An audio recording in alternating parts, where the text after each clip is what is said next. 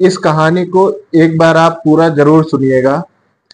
एक केकड़ा समुद्र के किनारे चल रहा था और पीछे पलट कर देखने पर अपने पैरों के निशान देखकर वो काफ़ी खुश हो रहा था।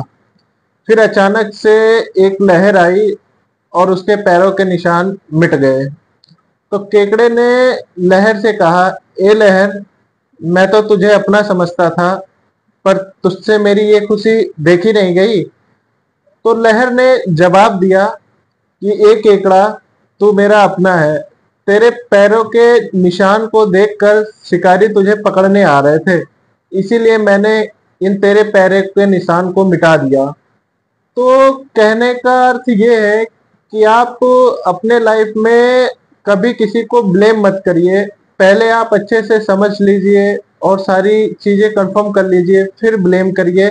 कभी कभी क्या होता है कि बिना समझे, बिना जाने हम लोगों से बैर कर लेते हैं। जिस तरीके से मकान में दरार आने से दरार को सही किया जाता है, मकान नहीं गिराया जाता है, उस तरीके से रिश्तों में दरार आने पे दरार को मिटाया जाता है, ना कि रिश्ते खत्म किए जाते हैं।